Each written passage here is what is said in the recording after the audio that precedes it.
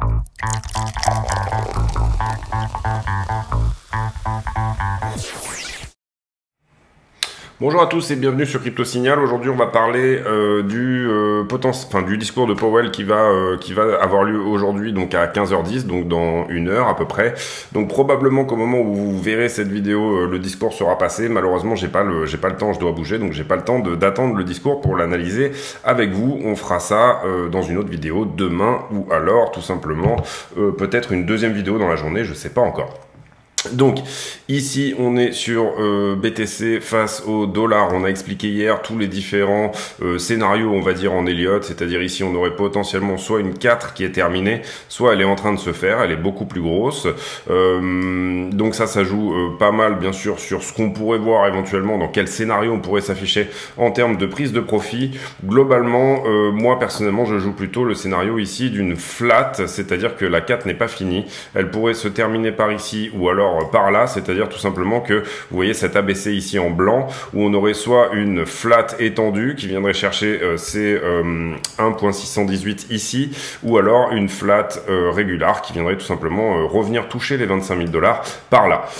Qu'est-ce qui me conforte un petit peu dans ce scénario Donc celui-ci, euh, par exemple, c'est tout simplement la liquidité. Quand on va regarder la liquidité et donc la euh, heatmap des liquidations, c'est-à-dire des gens qui sont potentiellement euh, ici en position et qui pourraient se faire liquider, on voit qu'on a bien nettoyé au sud ici notamment euh, cette zone là ici étant donné qu'on a fait une toute petite touchette sous les sous les 18.5 ici enfin autour des 18.5 on a euh, littéralement perdu tout ce niveau de liquidation là qui était important à prendre.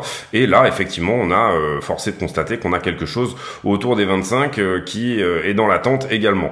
On a pas forcément énormément de liquidité, de liquidité pardon, entre les deux. Donc on va voir ici qu'est-ce qui se passe en 5 minutes euh, forcément sur les, euh, sur les liquidations. Je fais rapidement un petit tour sur l'action de prix au niveau d'Ethereum. Donc là on va enlever ces vagues-là parce que sinon c'est très chargé quand même. Et euh, l'idée, on va juste garder celle-ci, on va enlever la vague. Voilà, hop.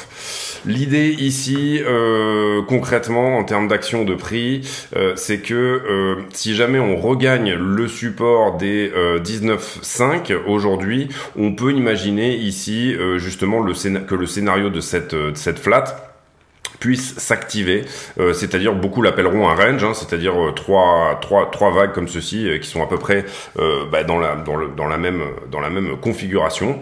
donc, donc ici, il faut comprendre que pour moi, c'est si on est rejeté par les 19.5, bah, tout simplement, on est en train de faire un pullback, enfin un flowback sur ce, ce triangle-là, et puis du coup, après, on, on, repart vers le bas. si jamais on n'est pas rejeté, on a plusieurs scénarios également.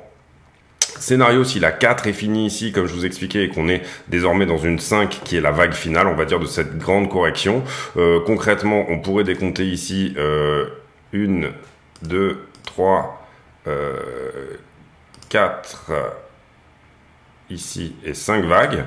je vais vous remettre la vague ici pour que vous puissiez voir.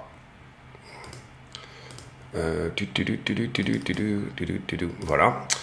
donc du coup ici on pourrait décompter 5 vagues, ça colle, on pourrait être dans une impulsive, la 3 n'est pas la plus petite des vagues, la 4 ne voyage pas dans le territoire de la 1, et la 2 ne dépasse pas la racine, donc ça voudrait dire une impulsive tout simplement en 5. Ici ensuite on aurait probablement un retracement en 3, donc 1, 2, 3 comme ça pour retracer. Donc là effectivement on reprendrait ce support des 19,5, mais ça serait une sorte de faux signal, et en fait derrière on réactiverait tout simplement 5 vagues de baise, de 5 vagues de baisse euh, qui, qui, là nous mettrait dans une zigzag. Alors vous donnez les targets exacts, euh, potentiellement euh, les 14 000 évidemment, si jamais on active ce scénario, il faudrait ici faire des décomptes intermédiaires pour vraiment voilà regarder ce que ça pourrait donner, mais globalement un mouvement, un très gros mouvement ici, vous le voyez pour cette 5 en ABC, puisque nous on est dans le scénario que on est sur 5 vagues de 3, donc une, une, une, une ending diagonale, pourrait être voilà quelque chose qui serait relativement correct à décompter.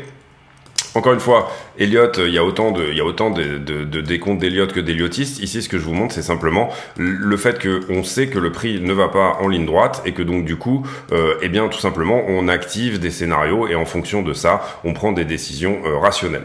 Bien entendu, bah, le, fait d'activer encore plus ce scénario serait de perdre tout simplement les 17,6 à un moment donné, c'est-à-dire euh, là, bah, repartir plus bas. Mais si jamais on a terminé cette vague de 5, là, cette fameuse petite vague de 5 ici, à ce moment-là, on aurait un retracement en 3 et puis ensuite un retracement en 5.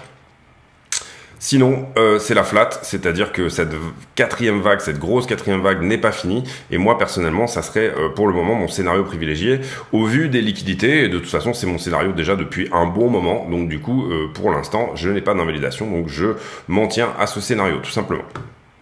Alors, sur Ethereum, sur Ethereum, euh, on a ici euh, tenu cette trend que vous voyez en vert là, que j'ai pris une vague pour la pour la garder, mais euh, ne, ne, ne, faites pas attention au décompte ici. Et puis euh, on est ici dans une 1, 2, 3 et on est dans ce qui semble être à l'inverse un mouvement déjà un peu plus impulsif. C'est-à-dire que la correction potentielle euh, de Ethereum vers le haut, hein, je parle, serait potentiellement ici plutôt en zigzag. Là, on serait pas du tout dans une flat on serait dans quelque chose d'un petit peu plus boule, euh, tout simplement pas une correction parallèle, mais plutôt une correction euh, plus, plus importante vers le haut. Si jamais on a effectivement fini cette B, on va ici utiliser un Fibonacci de prolongation de la tendance. On va aller voir jusqu'où on pourrait aller ici sur cette B. Et vous voyez que le 0,618 ici se trouve globalement au euh, 2400 dollars, euh, ce qui est euh, pour moi voilà un objectif que je que je regarde que je regarde vraiment attentivement. Euh, voilà, pour moi pré-merge, il est possible qu'on prenne 800 dollars de plus. Il est possible, encore une fois, ce sont des scénarios. Si on va au 1 pour 1, à ce moment-là, on ira au 3300 dollars. Euh, donc du coup, euh, voilà. Si jamais on n'est pas du tout dans ce scénario, c'est un petit peu la même chose sur euh, sur euh, Ethereum. Encore que j'aurais du mal ici à décompter une 4 en, une 4 en 3 vagues, pardon. Mais c'est tout à fait possible si on tire un petit peu le le signal comme ceci, c'est-à-dire une B en flat euh, et une C ici qui vient prendre un objectif relativement correct. Alors on va pas faire que du Elliott Wave dans cette vidéo, mais euh, on tient ici au scénario. Vous voyez, on dépasse ici les 1.618, on arrive quasi au 200%. Donc ça nous donne effectivement euh, une, zigzag assez forte. Et là, en fait, on serait dans une 1, 2, 3, 4, 5 qui marquerait le début d'une 5 également. C'est-à-dire que là, on reprendrait ce niveau de 4, on le mettrait ici, et là, on est déjà dans l'impulsive qui va dans la descente. Donc du coup, ça nous donnerait euh, éventuellement ici une, deux, trois, plutôt une diagonale euh, pour le début là, puisqu'on ici on voyage, on voyage dans le territoire de la une. Ici un rejet potentiellement d'ailleurs au, au, 1720, et puis ensuite on euh, dégringole toujours en 5, 3, 5. Ok? Euh, voilà pour les décomptes. Bon, personnellement, pour le moment, on garde ça euh, avec une 4 au 2003 et euh, c'est plutôt une, ici la vision d'une impulsive. Ensuite, euh, comprenez bien que si on fait une impulsive ici, enfin en tout cas que on est dans cette correction en 3 qui serait en zigzag, celle que je vous ai montré en premier, bah, ça voudrait dire tout simplement que ici on a fait une, une, une, deux, et là, on s'apprête à faire 3, 4, 5, d'accord euh, Le concept là, ça veut dire un très gros pump. Euh, au niveau des news, euh, on va d'abord juste vite fait regarder Ethereum BTC. Ethereum BTC qui est toujours sur son breakout ici de ce flag. Pour l'instant, on est une target de 0,09 et ça a l'air de tenir. Hein. On a, c'est ici c'est un, un, enfin c'était une résistance très importante. On a réussi à la casser. On a maudit, on a valider euh, ce pullback et pour l'instant on est au-dessus. Donc ça reste assez bullish sur Ethereum contre BTC important de le dire ici et de le comprendre. On a une dominance d'Ethereum qui est relativement bull aussi. Vous voyez qu'on a fait un très très beau ici euh, Bart Simpson inversé. Et puis euh, on a euh, une Bitcoin dominance, c'est ce qu'on va regarder ensemble, qui est toujours euh, à la cave là. Hein, donc euh, voilà, on a un ralentissement ici, mais bon, euh, voilà, vous voyez bien que ici on est on est quand même à des niveaux qui qui sont qui sont potentiellement breakés pour cette résistance ici qui tenait déjà depuis un moment. On est peut-être sur une déviation, ça peut réintégrer, hein, on n'est pas ici au 35 non plus, hein, on peut pas vraiment ici affirmer qu'on a une cassure, mais quand même ça, ça semble ici assez assez euh, boule pour Ethereum. L'idée ici aussi, il faut le comprendre, c'est que euh, dans un bear market, théoriquement, ce genre de choses n'arrive pas.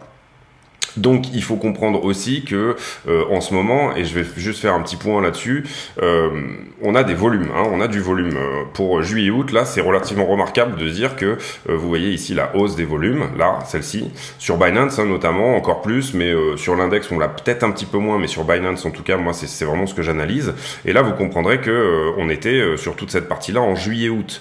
Donc le prix descend, oui, mais à chaque fois que vous avez un vendeur, vous avez un acheteur en face. Donc et le prix, c'est finalement juste résultante de la conviction d'un déséquilibre entre l'offre et la demande. C'est-à-dire qu'à un moment donné, vous, vous considérez que ah ben là, on a atteint un prix où euh, potentiellement ça vaut le coup éventuellement de, de rentrer. Donc, sensiblement, ce qu'on peut dire, c'est qu'ici, si on regarde les volumes, on a eu pas mal de gens qui se sont positionnés autour des 17-18. Et puis ensuite, euh, on a un repositionnement de une fois et demi plus de gens, hein, si vous préférez. Et là, je parle que du côté des acheteurs euh, qui se sont euh, positionnés une nouvelle fois dans cette zone des 18,5. donc ici, il faut comprendre que cette conviction du déséquilibre entre l'offre et la demande, au niveau du sentiment, on peut comprendre. Et encore une fois, à chaque fois que vous avez un vendeur, vous avez un acheteur en face. Donc cette hausse de volume n'est pas simplement, on n'est pas ici en train de dire ah ben les gens vendent de plus en plus. À chaque fois, il y a un acheteur en face. Et dans ce type de correction ici assez euh, assez parallèle, on va dire, puisqu'on pourrait identifier ça euh, comme je vous le dis comme une flat ou un range. En tout cas, pour le moment, c'est rien ne nous prouve qu'on n'est pas là-dessus. Euh, eh ben euh, cette hausse des volumes est globalement quelque chose de plutôt intéressant. Hausse des volumes sur euh, sur BTC, mais aussi également, et si on analyse, c'est ce que je vous disais, altcoin dominance qui est au plus haut.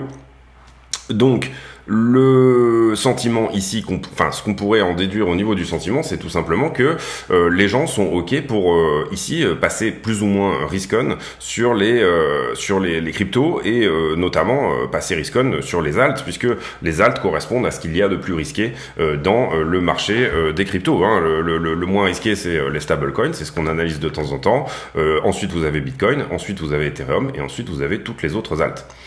Euh, donc ici, en termes de sentiments, c'est plutôt bon cette, cette histoire euh, d'avoir une hausse des volumes ici. Là maintenant, c'est la rentrée, tout le monde rentre de vacances, on pose sa serviette et ses lunettes de soleil et potentiellement on commence à faire du business euh, dans cette zone-là.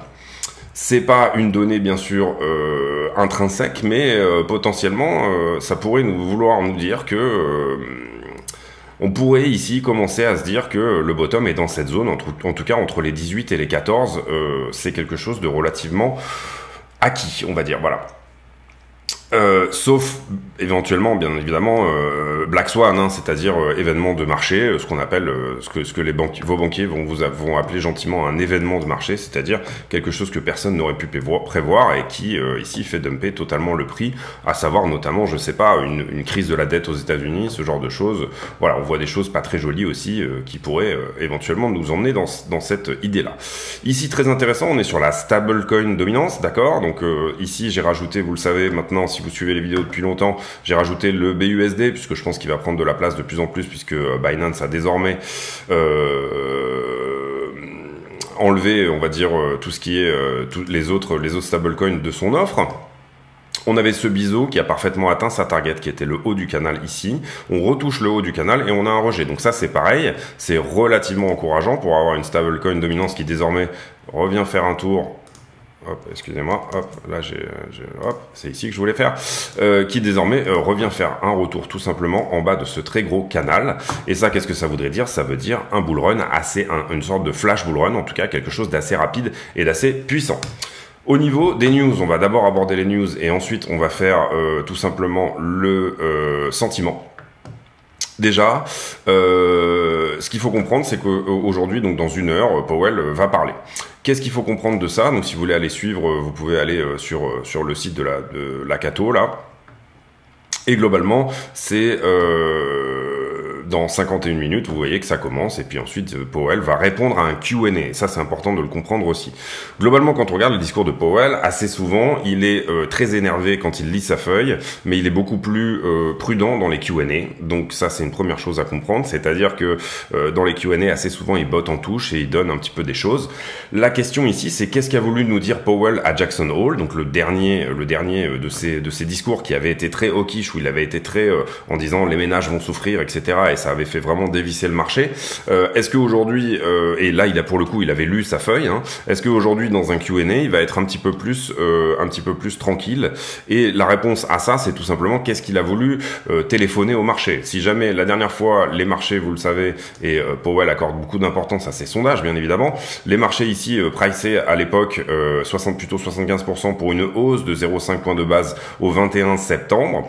et ici, il, il marquait plutôt 25% pour une hausse de 0,75. Depuis le discours de Powell, on a totalement inversé la tendance et tout le monde s'accorde à dire qu'on aura une hausse de 0,75. Le consensus en est euh, à peu près là. Et donc du coup, euh, si jamais Powell est satisfait de la réponse du marché, notamment sur ce sondage-là, le sondage du CME, eh bien, euh, il pourrait tout simplement être plus gentil aujourd'hui. Voilà, c'est quelque chose. Par contre, en revanche, si jamais Powell a, a en tête de monter à 1%, vous comprendrez qu'aujourd'hui, il va devoir téléphoner au marché euh, que peut-être le 21 septembre, on aura une hausse de 1%. Puisque nous, ce qu'on veut, et c'est ce que les Américains ont très bien compris, mais les Européens n'ont pas, encore, euh, n'ont pas encore, euh, euh, n'excellent pas encore dans cet exercice de la communication, c'est que tout simplement sur les banques centrales, il faut dire au marché en amont ce que vous avez, et les marchés détestent l'incertitude, ça c'est une première chose. Et la deuxième chose également, c'est que les marchés détestent que vous disiez quelque chose qui ne se passe pas. Donc là, en l'occurrence, si jamais Powell, lui, pense éventuellement au 1% au 21 septembre, il va aujourd'hui euh, téléphoner quelque chose de plus hawkish. Il va être très euh, ferme sur le fait que les ménages vont souffrir, ce genre de choses. Il va être très ferme sur euh, le fait que on n'est pas sûr qu'il y a eu déjà un pic d'inflation, etc.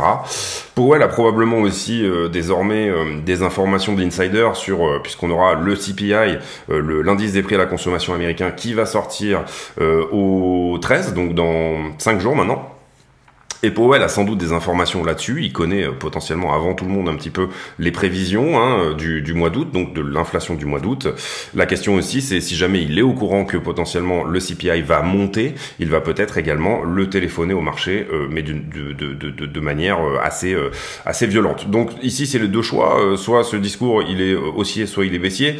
Concrètement, euh, c'est euh, foncièrement, moi je pense que on sera plutôt sur, sur du 0,75, je pense, et je pense également que euh, euh, aujourd'hui, euh, il va être, euh, puisque en Q&A en général, il est plus gentil. Je pense qu'aujourd'hui, son discours risque d'être plus gentil. Donc déjà dans les prix, hein, forcément, puisque vous comprenez ici que le marché s'accorde à dire qu'on va monter de 0,75, donc potentiellement ici quelque chose de haussier. Je m'attends quand même ici à une correction juste avant, donc dans l'heure qui vient, hein, là potentiellement une petite correction juste avant son discours qui correspondrait à de la fébrilité, mais aussi un faux départ dans le faux sens et potentiellement ici un discours haussier. Mais je peux pas savoir ce que va dire Powell. Malheureusement, euh, je prends pas le café avec lui euh, euh, après avoir fait un 18 trous le, dimanche après-midi. donc du coup, j'ai j'ai pas j'ai pas ici les, les, infos. Mais potentiellement, voilà, ça peut être ici une piste que de se dire que ce discours pourrait être haussier. À l'inverse, et vous le comprendrez, si on se met, et je vais faire du coup là ici un petit peu de momentum rapidement, le momentum en délit euh, sur euh, BTC, il est plutôt, excusez-moi. Excusez-moi, donc on a un momentum euh, en daily qui est pas forcément mignon, on va dire, encore que l'encouragement c'est que là on, on, recommençait une vague de, une vague de baisse et en fait bah, vous voyez qu'on recommence à pâlir ici, hein, donc les droites recommencent à se rapprocher. Sur le Cypher, on est en quasi-extinction de cette vague. Vous le voyez là, l'écume qui commence un petit peu ici à, euh, à s'amoindrir. Donc ça, ça serait une bonne chose aussi qu'on continue légèrement haussier au niveau du prix de manière à fermer cette vague et avoir un nouveau point d'achat sur le Cypher. Sur le stochastique, vous voyez qu'on est en retournement daily, donc c'est un petit peu la même chose, la même info qu'on avait sur le sur le Cypher, c'est-à-dire que euh, comment dire, on avait une vague de baisse ici là et elle est peut-être en train de repartir pour aller jusqu'au 80 dans la fameuse zone de surachat. Et euh, voilà, globalement sur le sur le daily, c'est pas trop mal. Et euh, pour le coup, si on regarde dans la time frame inférieure, en 12 heures, c'est plutôt joli aussi. C'est-à-dire que ça irait plutôt dans le sens d'un retournement avec euh, un MACD qui est en hausse, avec une pastille confirmée sur le cipher, un stochastique qui est en hausse aussi, stochastique qui attaque à peine ici la zone de sur surachat. Et voilà. Donc, globalement, ça c'est plutôt encourageant, on va dire, pour pour le pour la suite, même si bien entendu tout retournement est possible. Ensuite, euh, pareil sur Ethereum, hein, globalement vous aurez à peu près le même momentum sur Ethereum en légèrement plus boule, euh, c'est-à-dire que tout simplement Euh, par exemple sur euh, Cypher, eh ben on a déjà croisé bullish. Euh, sur euh, le MACD, pardon, on a déjà croisé bullish. sur ici, on est toujours dans cette zone. Le stochastique est déjà en haut en daily et ici, il est, il est toujours resté en, en, en pente hausse. Ce qu'on veut, nous, c'est tout simplement qu'il traîne un peu en, haut là. Donc, vous pouvez, si vous voulez, mettre en daily une, une, alerte. Bon, après, vous le verrez sur le prix, mais dès que le stochastique fait une progression vers le bas, moi, j'aime bien avoir ce type d'alerte un petit peu avant tout le monde et en en daily, pour le coup, sur Ethereum. D'accord, il sonne direct. Bon, globalement, il va falloir lui dire ici plutôt un croisement sur le 80. Mais euh, vous voyez qu'en daily, sur Ethereum, le shop est chargé. Donc on s'attend ici à un mouvement dans un sens ou dans l'autre qui soit relativement euh, péchu. Pas vraiment de divergence notable, en tout cas euh, dernièrement. non, pas de divergence notable. si légère div baissière ici entre ça et ça. Donc ça, ça, ça irait plutôt dans le sens d'une latéralisation. Euh, voilà, donc on va faire maintenant les. Donc j'ai fait les news globalement. Hein. je vous ai couvert euh, le euh, discours de Powell. On va vite fait passer sur le reste.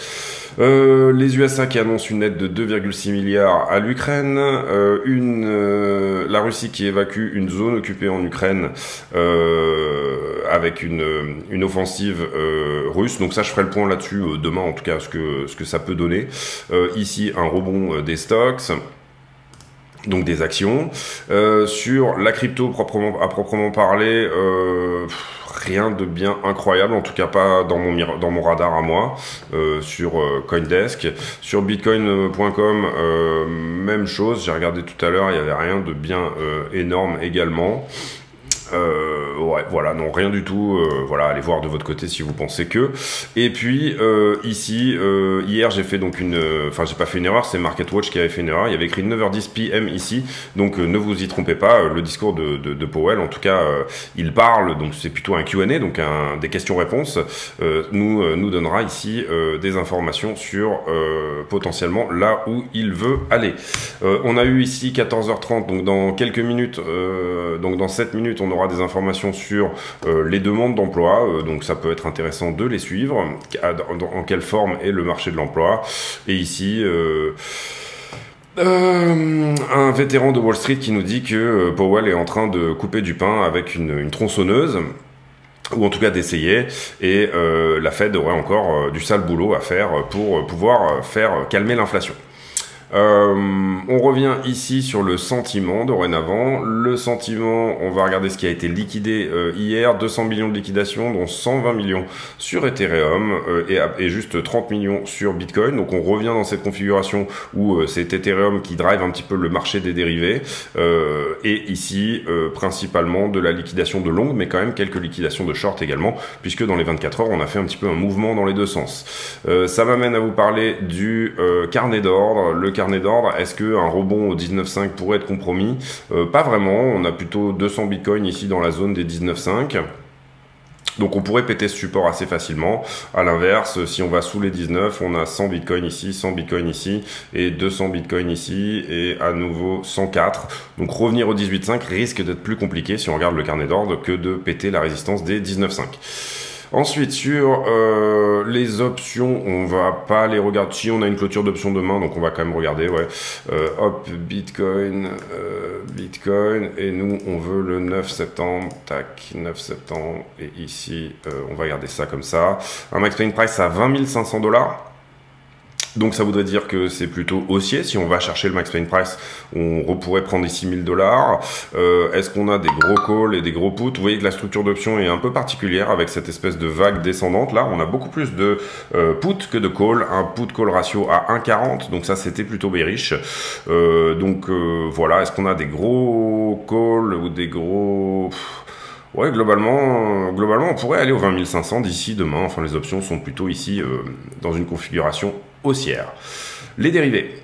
Euh, donc les perp, c'est-à-dire les marchés en levier. Je vous ai parlé euh, hier et j'en ai, j'ai beaucoup parlé de ça, de cette grosse position ici à quasiment 500 millions qui avait été ouverte en short euh, autour des 19 500 dollars, justement à la perte du support des 19 500. On a eu cette grosse baisse depuis et vous voyez qu'on s'est retourné, on est venu chercher cette position-là. Est-ce qu'on a pris cette grosse position ou alors est-ce qu'elle est sortie du marché? C'est un petit peu la question du jour, hein, puisque c'est ça qui pourrait nous aider éventuellement à, à avoir euh, bah, suffisamment de suffisamment d'aide pour monter tout simplement euh, remonter euh, ici à ce niveau des 20 000. J'espère que j'ai sauvé hier. Hop. Donc là, euh, en l'occurrence, euh, ce que ça nous dit, euh, c'est que cette position, elle avait été ouverte par ici, hein, on la voit très bien, énorme hausse de cette grosse position, énorme hausse de l'open interest et chute du funding. Donc ça, c'est un gros short qui s'est ouvert. C'est ce qu'on a vu ici sur l'autre, sur la position. Donc ça, c'est sa, sa, zone d'ouverture. Et on pourrait imaginer qu'elle a fermé en deux fois, une fois là et une fois ici. Vous voyez ici que le funding tout d'un coup remonte hein, sur cette perte de position. Euh, bon, on est aussi, alors que le prix est plutôt en train de monter à ce moment-là, hein, vous le voyez, là, cette descente, elle se fait là. Donc globalement, ici, on peut imaginer que cette personne a fermé sa position sur ces deux points-là. C'est encore une fois des conjectures, on, dit, comme ça, oui. On a pris ce niveau de short ici. Euh, entre-temps, on s'est plutôt basé sur du short là. Vous le voyez, euh, nombre de contrats qui augmente et funding qui descend. Donc ça, tout ça, c'est du short. donc on va pas le mettre puisqu'il a été pris depuis. Ensuite, ici, on déleverage les shorters, c'est-à-dire que vous voyez que le nombre de contrats diminue et on augmente au niveau du funding, donc ça veut dire qu'il pour moi, il n'y a pas énormément d'ouverture de position en tout cas. Ici, on continue à déleverager, mais plutôt du long, c'est-à-dire qu'on a des longs qui ferment leur position sur cette petite chute de prix, donc on va pas mettre de niveau non plus euh, excessif à prendre. Ensuite, euh, qu'est-ce qu'on a ici? On a potentiellement un gros long qui s'ouvre, vous le voyez, le, le, funding qui fait un pic, et euh, l'open interest aussi, mais vous voyez qu'il a été nettoyé depuis également. Euh, et ici, forte augmentation de l'open interest qui se fait sur du shorter, donc on aura un point à prendre ici, je pense qu'il a été pris depuis, oui, on vient de le prendre là. Et puis à l'inverse, ici, on on, détruit hein, des contrats de euh, longueur, mais cependant, on détruit des contrats de longueur, mais cependant, le funding augmente. Donc, euh, on avait ce niveau de short qui est euh, également là-dessus. On va le garder du coup. Et ici, forte augmentation du funding avec forte augmentation de l'open interest avec forte augmentation du funding, ce qui veut dire que tout simplement, on aura un niveau à prendre pour les longueurs qui se trouvent ici. Ici et qu'on va mettre en rouge. Euh, on va enlever celui-ci et on va potentiellement plutôt voilà, utiliser celui-là. Et là, on a plutôt des fermetures de short. Non, on va, on va enlever celui-ci. On va considérer qu'il a été pris. Et pour l'instant, on a plutôt des niveaux à prendre en dessous. Vous voyez que le niveau ici euh, suivant sera au 20 500 et euh, le niveau à prendre sur les longueurs sera au 19 000. Euh, sur Ethereum, sur Ethereum, qu'est-ce qu'on a? On a parlé aussi de pas mal d'ouvertures de short. On va aller regarder ici euh, la map. Et la map, globalement, euh, pas mal d'ouverture de short hier, j'en avais parlé dans la vidéo. Euh, vous le voyez ici que, bah voilà, on est, on est, on est sur un delta qui est plutôt en faveur des shorters, enfin plus de shorters à nettoyer. Et euh, ici, on fait ce joli Bart Simpson. Et depuis, on voyait qu'on a ouvert pas mal de longues ici, d'accord? On n'a pas nettoyé les shorts jusqu'en haut, donc du coup, ça nous donne globalement un, un cumulatif delta qui est plutôt cumulatif delta, donc c'est bah, les shorters moins les longueurs sur les 5 derniers jours, qui est plutôt flat. Donc globalement, ici, Ethereum pourrait partir dans les deux sens. En tout cas, c'est la lecture que nous en donne euh, iBlock. En l'occurrence ici aussi, on voit quand même qu'on a une prépondérance de, de short hein, sur euh, Ether, donc ça c'est plutôt une bonne chose. Euh, pourquoi on a une prépondérance de short? Bah, Tout simplement, et on avait dû faire la vidéo par ici, bah, on avait remarqué ici que euh, tout simplement c'était plutôt des fermetures de longues là, hein, qui, qui nous avaient fait plonger le funding. Et là en l'occurrence on a une forte augmentation du funding qui d'abord se fait sur du short, donc jusque là c'est le niveau qu'on avait montré là et il a été pris. On avait montré un niveau ici aussi également. Ensuite, on a beaucoup de longues qui rentrent, donc on aura un niveau de longueur à prendre à peu près par ici, qu'on va noter comme ça. Et puis ensuite, on aura euh, du short qui s'est ouvert beaucoup. Donc là, vous voyez qu'on l'a short squeezé depuis, hein, on est venu le chercher.